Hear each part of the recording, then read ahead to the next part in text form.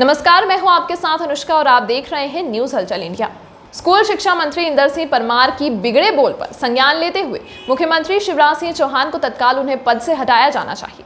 मंगलवार को निजी स्कूलों की मनमानी और नियम विरुद्ध फ़ीस वसूली की शिकायत लेकर पालक स्कूल शिक्षा मंत्री इंदर सिंह परमार से मिलने पहुँचे थे।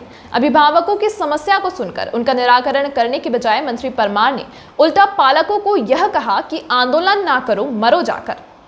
जागृत बालक संघ मध्य प्रदेश अध्यक्ष चंचल गुप्ता ने कहा कि एक शिक्षा मंत्री के रूप में उनका ये बयान अत्यंत आपत्तिजनक और गैर जिम्मेदाराना है।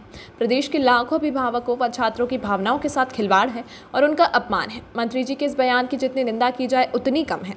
उनके इस बयान से ही स्पष्ट होता है कि कोरोना काल में प्रदेश सरकार और न्यायालय के तमाम आदेशों के बावजूद निजी स्कूलों की मनमानी इसलिए नहीं थम रही है क्योंकि प्रदेश सरकार और प्रशासन के आदेश केवल जनता को दिखाने के लिए होते हैं। वास्तव में सरकार निजी स्कूलों की हिमायती है और अभिभावकों की परेशानियों से सरकार को कोई लेना देना नहीं है।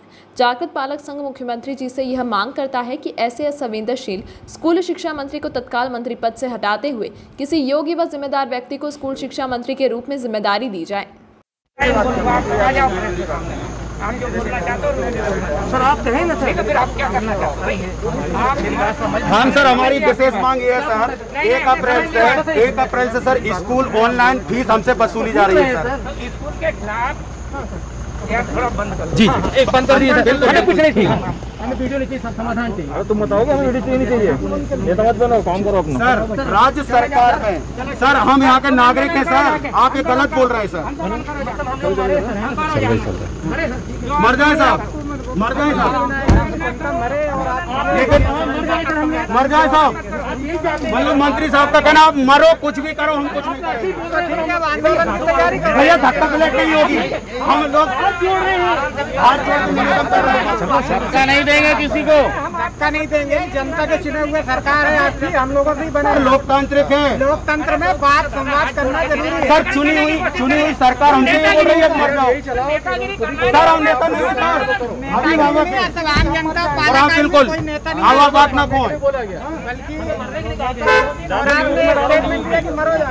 नहीं नहीं माननीय मंत्री भाजपा ने बोल दिया था तो मर जाओ। अभिभावक का